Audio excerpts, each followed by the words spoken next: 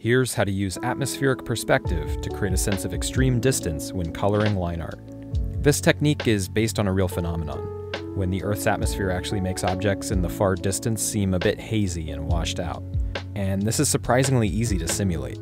For example, here's a sequence in a desert landscape. The colors are done, but I want to knock the mountains back so that these characters pop a little bit more. So I'm just going to take a slightly darker version of the purple that I used and color it directly onto the line art layer with a clipping mask, carefully avoiding the characters as I go. It's such a simple technique, but you can see how much of a difference it makes. Definitely recommend trying this on any outdoor scene for some extra polish.